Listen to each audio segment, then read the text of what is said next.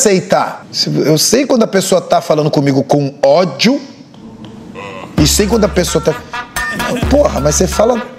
Você, que eu tô na forca ali, ó. Vamos queimar essa bruxa aí, porque essa bruxa não sei. Parece isso, parece jogar geleia. Hum, exagero. Eu ia rir. Pega essa geleia aí, palhaçada. Torta na cara. Tem idade de ficar tomando torta na cara na TV. Aí Corta pro Rodriguinho passando vergonha, meu amor. Na...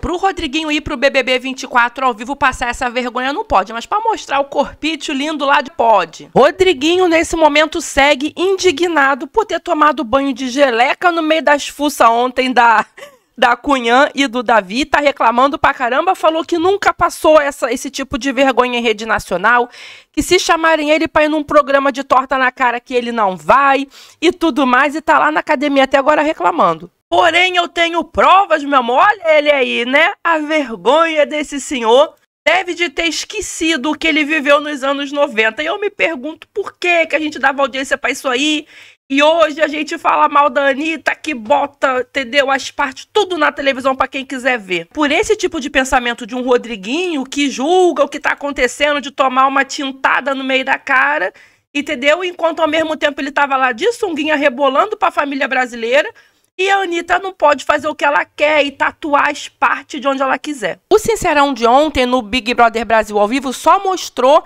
a hipocrisia das pessoas que nos outros é feio, mas ele próprio já fez e isso ele não lembra, né? A verdade é essa. Aí ele falou porque a Cunhã olhou com olho de ódio, o Davi também olhou ele com cara feia, mas tomou cinco baldadas o, o Davi, quatro, Cunhã, três, isso ele não vê. Aí a pessoa tem que ficar calma, sendo esculhambado pela casa toda, e quando vai fazer alguma coisa, ainda é colocado ali como errado, né? Já já tá no paredão mesmo, aí um dia antes, não ia ser nada de diferente, né?